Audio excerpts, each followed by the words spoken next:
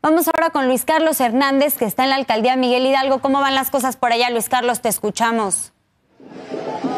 Fernanda, tenemos las imágenes donde se ha intensificado pues esta protesta, donde efectivamente estos manifestantes que se encontraban en la protesta a las afueras Embajada de Israel en México empezaron pues a tratar de quitar estas vallas, sin embargo hay que recordar que desde cerca de las 5 de la tarde llegaron estos elementos de seguridad a cordonar la zona, específicamente el paso por la calle eh, Sierra Madre, entre Escandinavos y Monte Altaí, donde estuvieron presentes al momento estos manifestantes de tratar de brincarse precisamente estas vallas, tratar de retirarlas. Pues, eh, no les permitieron estos elementos de seguridad que tenemos en las imágenes. Y bueno pues así es como se han incrementado estas reacciones a esta protesta que han estado realizando a las afueras de la embajada. Se realizó cerca de una hora completamente en calma. Fue una manifestación pacífica. Sin embargo pues al calor de los ánimos es que se fue incrementado incrementando. Empezaron a hacer algunas pintas en estas eh, pues estas vallas que tienen eh, los policías.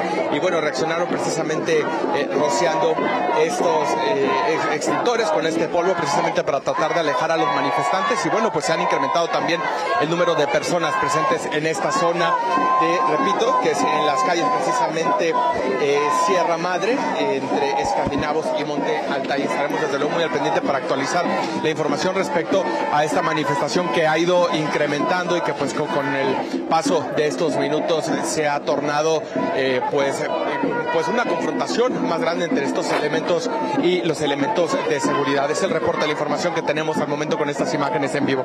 Luis Carlos, nos dices que prácticamente fue una hora de una manifestación pacífica y en estos momentos han llegado todavía más manifestantes. Así es, cerca de las 5 de la tarde eran aproximadamente 20 personas.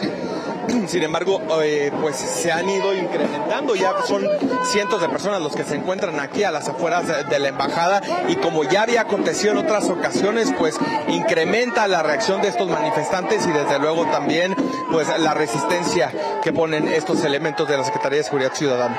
Pues sin duda seguiremos muy pendientes. Luis Carlos, gracias por la información.